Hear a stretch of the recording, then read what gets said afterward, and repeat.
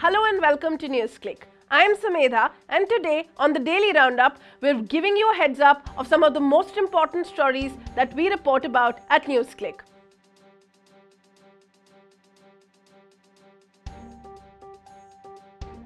The contentious Citizenship Amendment Bill has lapsed in the Rajya Sabha today on the last day of the budget session. The BJP was trying its best to pass the bill today. Irrespective of the fact that it has lapsed, protests are still ongoing in many parts of the northeast, specifically Manipur as well as Mizoram. Many of the political opponents, including BJP's allies themselves, are opposing the bill that was passed by the Lok Sabha on January 8th. The centre had said that it will try its best to get it passed by the Rajya Sabha during the budget session. We've been constantly seeing that there were attacks on the people of the state, which included women, and multiple effigies of the Prime Minister were also burnt.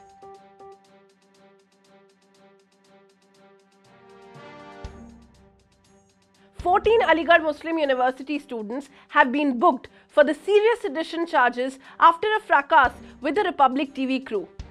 14 students of the AMU in Uttar Pradesh were booked for sedition on Tuesday evening after clashes that followed a confrontation with the journalists from the news channel Republic TV. The students are accusing the Republic TV crew of shooting on campus when they were not permitted to shoot on campus in the first place.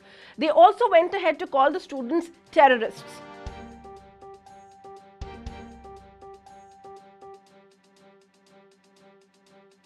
In our international segment, let's take a look at Italy, where students from various universities have marched together expressing solidarity with the students of the University of Turin, where protests are waging against the entry of multinational food corporations.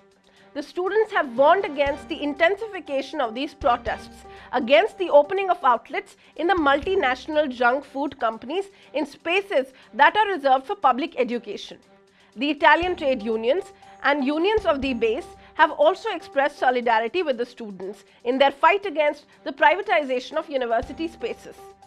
That's all that we have for you today on this episode of the Daily Roundup. Follow these stories in greater detail at our website www.newsclick.in and subscribe to our channel on YouTube and follow us on Facebook. Thank you for watching.